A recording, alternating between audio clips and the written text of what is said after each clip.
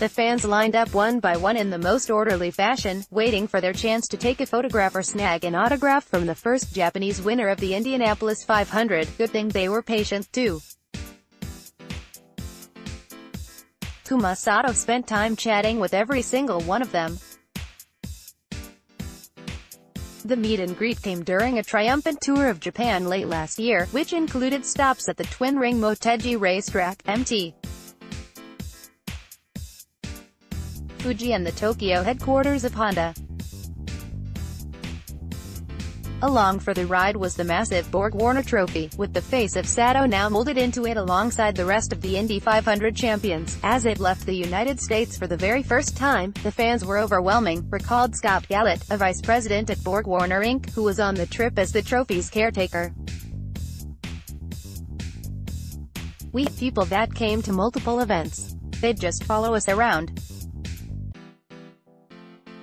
And it was something to see such an appreciation for Takuma and what he'd accomplished. The 41-year-old Sato may not carry the name recognition of Unser or Andretti even after winning last year's race for Andretti Autosport. But with a quick smile, easy laugh and a buoyant personality, he was nonetheless a popular champion, so much so that nobody seemed to care a whole lot that he denied perpetual fan favorite Helio Castroneves from joining the hallowed club of four-time winners. That was just in America, too. Sato was positively revered in Japan, where he first shot to stardom years ago driving in Formula One, far and away its most popular motorsport series. When he first returned home last June to celebrate his win, hundreds of fans and media were on hand to greet him at Narita Airport. During a four-day victory tour in the Japanese capital, he visited the world-famous Shibuya Cross intersection, Tokyo's version of New York City's Times Square, where the finish of the Indy 500 was shown on a giant video screen. The love affair continued into the season, too. Sato threw out ceremonial first pitches for Cubs and Angels games.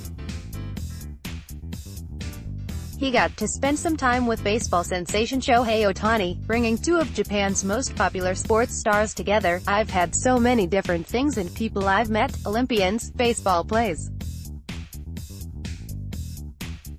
Yes, Shotani, Sato said this week, shortly before surviving bump day to make the 33-car field for Sunday's race. Baseball, you know, I like it but I never played in my life, so I never thought I'd get to throw out a first pitch, he said.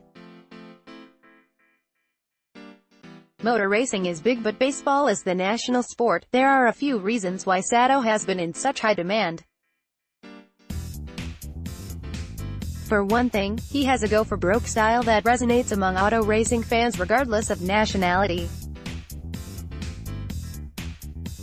He's willing to push the limit, even if it means crashing out in search of the win.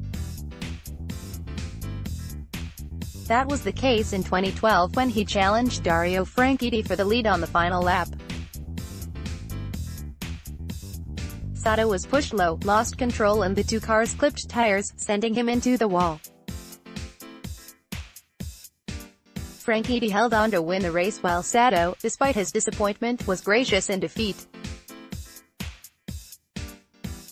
That's the other big reason he's in demand, his personality is magnetic. He's the kind of driver that fans can't help but cheer for, and he returns their love for him in kind. Sometimes it's tiring, he said of the constant adoration, but I really appreciate it. The Indy 500 victory was without question the biggest moment of Sato's career. He'd only won one other IndyCar race, back in 2013, and managed one podium finish in 44 races in Formula One. It showed once more how much different winning can be at the Brickyard. There are no victory tours for winning elsewhere, no photo ops at Mount Fuji, and Honda officials are less inclined to fet you at world headquarters. Now the trick is to back up that victory.